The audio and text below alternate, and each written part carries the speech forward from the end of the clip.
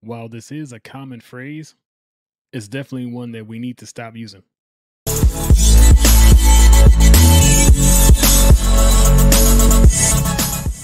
Welcome to Unifier TV, where truth has no fear.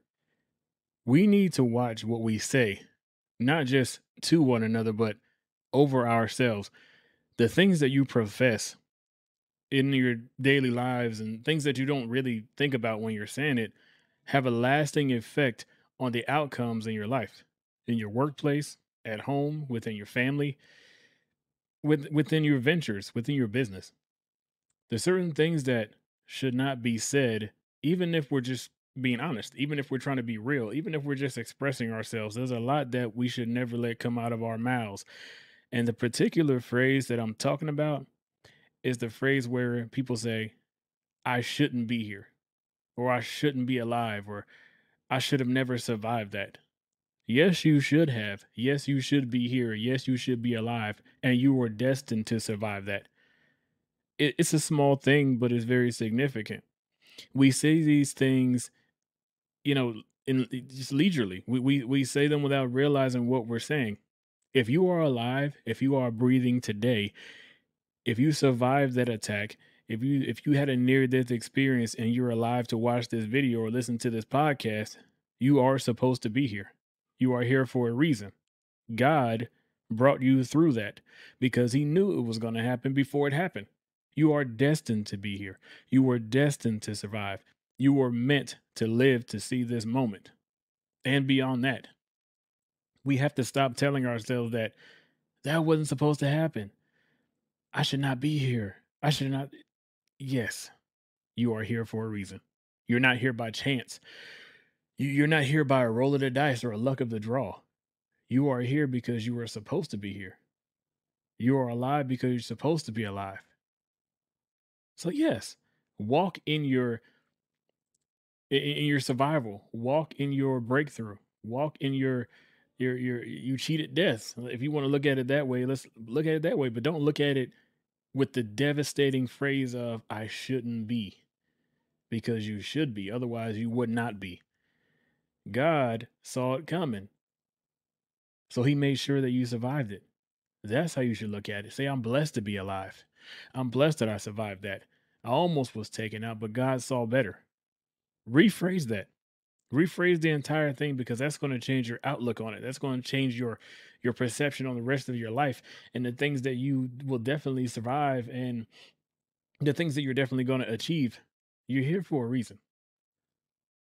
This actually brings into mind another phrase. Like I said, it's a very common phrase, but people need to stop saying this as well. We need to stop saying can't. When people are going through financial struggles, or if they're just, you know, in a position where they're steady in their finances, people always say, I can't afford this. I can't do that. The word can't is damning in a lot of ways, and it's also a very eternal word. Yes, you can. Instead of saying can't, if someone wants you to take a trip with them, or if you want to make a certain expense, or anything comes up financially, stop saying can't. Say it's not within my budget at the moment. It's outside of the realm of my current state of finances for the moment. Say for the moment, that is not within my budget. For the moment, I can't foresee making that expense right now, I am unable to make this purchase right now. You have to believe for better than where you where you are currently. You you have to know that nothing bad or nothing negative or, or this hold that you're in is not going to last forever. You have to believe for better. You have to foresee better. You have to walk in the expectation of better. That's the only way we're going to get to that point. You have to expect it.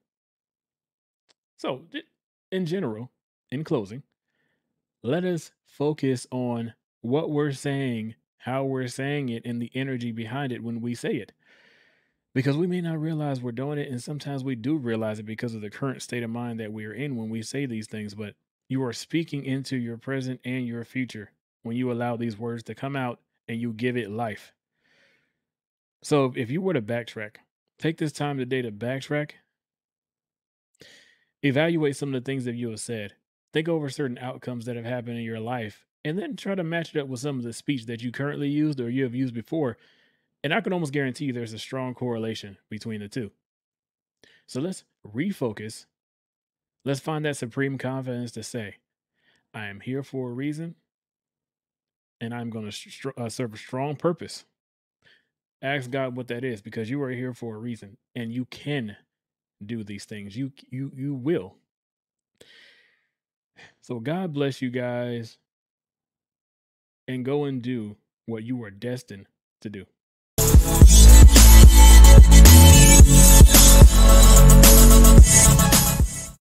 Hey, thank you for watching my video. Uh, I really do appreciate the support. If you also like to support your health, I recommend checking out BioTrust Multi Collagen. I've been taking it for a couple weeks now. I also have the Multi Collagen Booster. I've seen tremendous differences in my hair, skin, and nails. And yeah, men do care about those things too. So if you're like me and you don't want to get into big pharma or anything crazy that they produce over there, you just want all natural and it's definitely affordable then check out BioTrust. Uh, I stand by it. I've seen the results myself. So check them out. I'll post, post the link in the description and God bless.